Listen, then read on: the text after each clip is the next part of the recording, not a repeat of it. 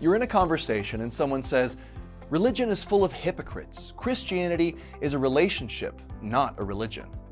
What would you say? Some people claim that practicing religion and having a relationship with Jesus are opposites. They think of religion as legalistic, hypocritical, and judgmental. Jesus, on the other hand, was loving and forgiving and personal.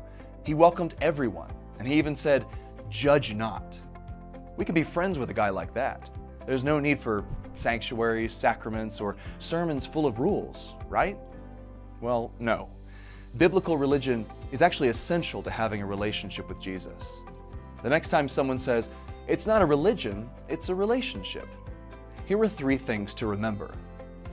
Number one, we need to define religion the way the Bible defines it. Whenever someone uses the word religion negatively, they usually mean they're against legalism and hypocritical behavior. But there are perfectly good words for legalism and hypocrisy. We just use them. And so did Jesus when he condemned the scribes and the Pharisees in the strongest possible terms for their legalism and hypocrisy. While Scripture always condemns legalism and hypocrisy, it doesn't always condemn religion. Though Jesus himself never actually used the word religion, the word does show up five times in our English New Testaments. Most of those times it's used neutrally, but one is fully positive. In James 1:27 it says that religion that is pure and undefiled before God is this: to visit orphans and widows in their affliction, and to keep oneself unstained from the world.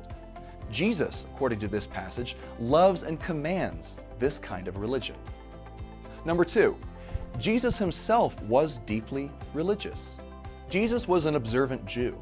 He went to synagogue, kept holy days, endorsed the Old Testament law, founded a church, established discipline for that church, instituted a ritual meal, set up leaders, commanded baptism and preaching, and insisted that people believe certain things about him.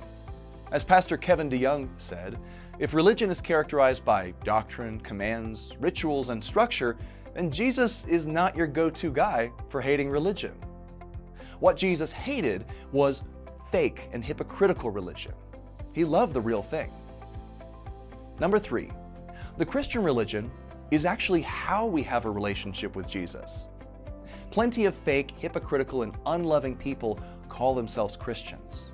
In a sense, all Christians are these things. We all fail to live up to our faith and our Savior.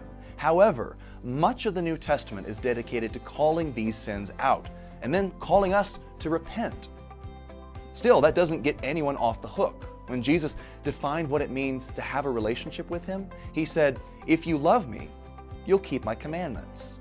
One of those commandments is found in Hebrews 10:25, which says, "And let us consider how to stir one another up to love and good works, not neglecting to meet together, as is the habit of some, but encouraging one another, and all the more as you see the day drawing near.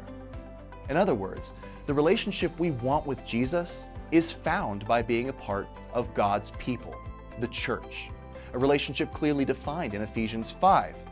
Here, Paul likens the love between Christ and his church to the love between a bridegroom and his bride. Simply put, the Christian religion, rightly understood and practiced, centers on the most beautiful and intimate relationship in history. To say you love Jesus but don't believe in religion is like a bride saying, I love my husband, but I don't believe in marriage. So, the next time someone says, I'm a Christian, but I don't believe in religion, it's a relationship. Remember these three things. Number one, we need to define religion the way the Bible defines it. Number two, Jesus himself was deeply religious. Number three, the Christian religion is how we have a relationship with Jesus. For what would you say? I'm Shane Morris.